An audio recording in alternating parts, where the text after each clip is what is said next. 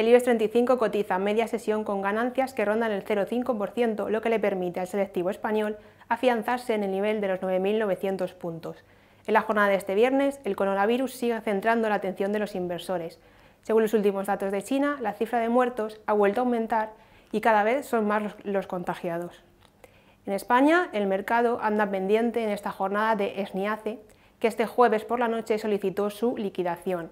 Además, De ha informado de que cierra todos sus litigios tras llegar a un acuerdo extrajudicial con sus antiguos administradores, los hermanos Salazar, que pagarán a la compañía entre 8 y 12 millones de euros. En Europa, las bolsas cotizan mixtas en una sesión en la que se ha conocido que el PIB registró en el cuarto trimestre de 2019 su crecimiento más bajo desde 2015.